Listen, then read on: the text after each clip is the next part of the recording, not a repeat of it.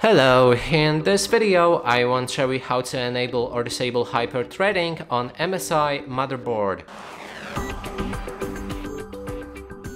To do this, first we'll need to open Advanced BIOS mode, navigate to OC, then enter Advanced CPU configuration and there's hyperthreading that you can enable or disable.